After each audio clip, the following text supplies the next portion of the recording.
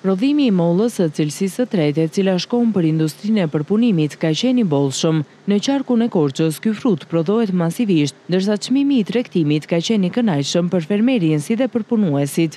Ne për të mos thënë që tash filluam edhe me Elbasanin, po marrim dhe nga rrethi i Elbasanit, po marrim mollët që rriten në atë rreth. Sasitë kanë qenë të konsiderueshme, kemi kaluar mbi një mijë, një mijë e pesëqind, një mijë e gjashtëqind ton mollë që kemi përpunuar. Vazhdojmë përpunimin, kemi afërsisht jemi dy muaj që merremi me përpunimin e mollës. Ne jemi gati gati me çmimin që ata po japin për konsumin njerëzor, jemi ne të industrisë. Ne shkojmë te pesëmbëdhjetë lekëshi, shkojmë në gjashtëmbëdhjetë lekëshi, shkojmë në katërmbëdhjetë lekëshi. Konsumi njerëzor vete njëzet e pesë lekëshi. Hajderli shpjegon se molla kalon në disa procese që nga larja, sterilizimi dhe deri tek rezultati final që është prodhimi i lëndës së parë për industrinë ushqimore.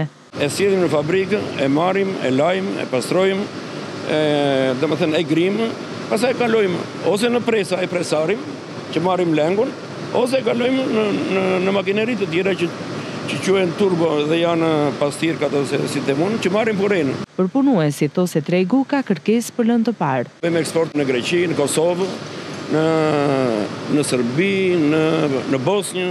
Në këtë fabrikë në gjashtëmbëdhjetë orë përpunohen gjashtëdhjetë ton mollë, që sjellin purenë dhe lëndën e parë që përdoret për prodhim lëngjesh, për përgatitje ëmbëlsirash në pastiçeri e të tjera.